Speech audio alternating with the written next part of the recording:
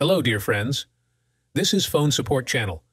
Before you start watching this video, please subscribe to the channel and give it a like. And also write your feedback in the comments if this video helped you, or if you have any questions. Thank you. In this video, I want to show and tell you how to scan QR code on your iPhone. First, you need to enable the scanner function in your iPhone's settings. To do this, you go into the settings and look for the item, camera. And here you need to enable the item, scan QR code. After that, you can go back and open your camera. You open your camera, you take the QR code, and you point your camera at that code, and the phone automatically opens the link. Or you can forward that QR code to social media, or you can copy the link to it. As you can see, it's a very simple and quick way. Done. There is nothing complicated. If you like this video, put likes and subscribe to the channel.